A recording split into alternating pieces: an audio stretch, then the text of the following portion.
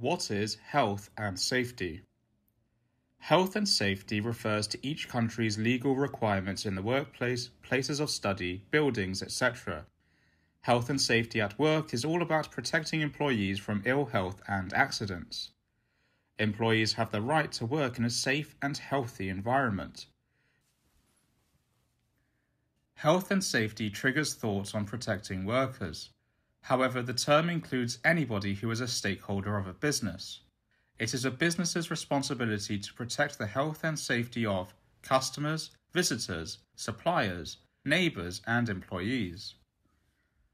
Large companies have teams of health and safety professionals. They are in charge of every aspect of employee safety and health. This includes the creation and implementation of injury and illness programs.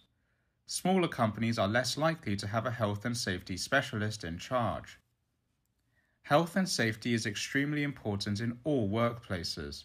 However, there is a special emphasis on the most hazardous workplaces. In the United States, fatal workplace injuries are highest in the construction, transportation, and warehousing and agriculture sectors. Thank you for watching this brief video on health and safety.